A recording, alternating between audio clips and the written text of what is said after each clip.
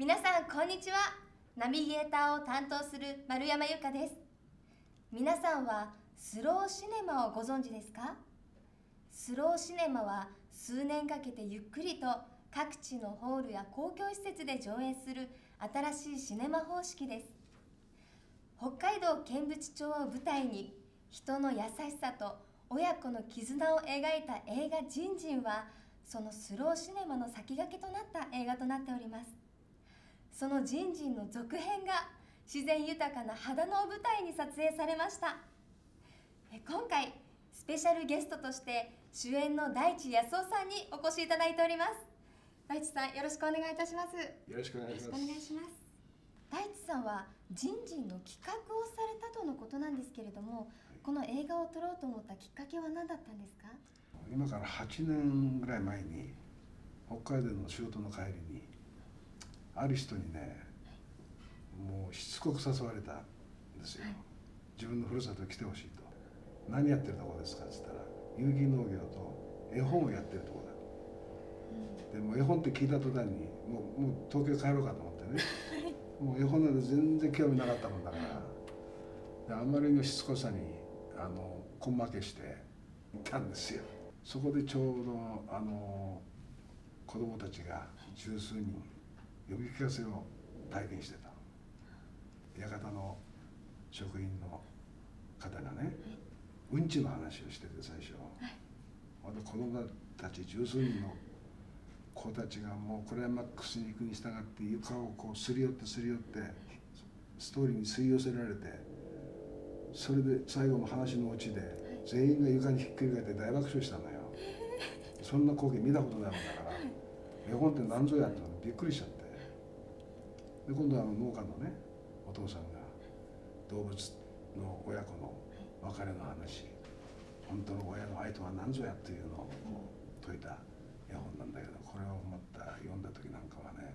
一人一人がねもう別れのシーンなんかで涙ぐんでるわけ今度ね。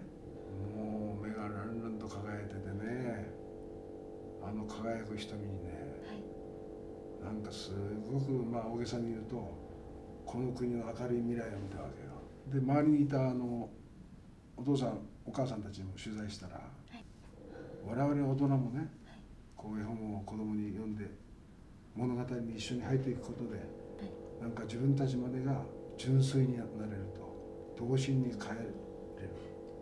童心に帰った時に初めてこの絵本のメッセージで忘れていた大切なことにね気づかされるっていうほんで親子の絆が深まって大人の大人と子供の絆も深まって結果的には優しい街づくりができたっていうね。この絵本の力を映画にできないかと。今こそこれはお伝えすべきメッセージがあるんじゃないだろうか。ということで企画したわけですよ。そうだったんですね、えー、今月末にそのジンジンの上映会が